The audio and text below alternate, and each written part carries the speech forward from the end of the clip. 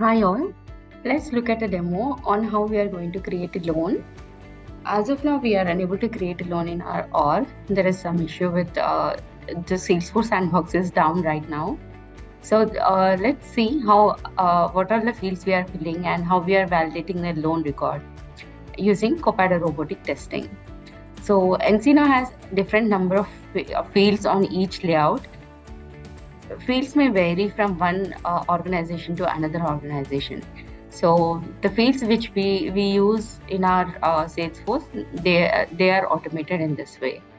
So first we are going to relationship and then we are clicking on the uh, new loan and we are filling all the loan details. On the left side, we have uh, like borrower type, product line, product type, product, and uh, click uh, we are clicking on new uh, new loan create new loan button.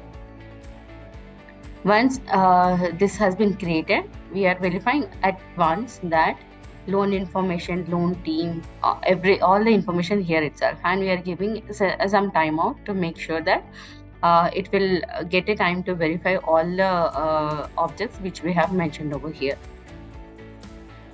And then we are verifying the loan name is correctly pre-filled or not.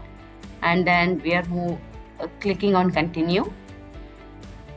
And then the next is we need to add a guarantor to the loan. We need to add a guarantor. And then we need to we are creating one uh, variable variable called borrower. This information we need to uh, fetch it from the user level because uh, the user if i hard code the user over here uh, the next Salesforce sandbox might have that name or not. So we we mentioned this particular profile user uh, has to be picked up from here.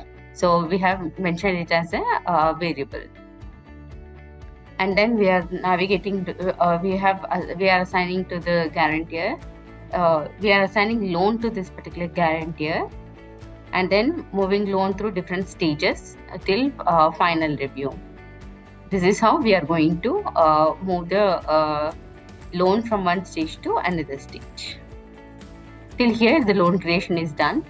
And then we are just uh, validating uh, whether that particular uh, loan has been created or not and verifying this table, relationship table. Thank you for watching the demo.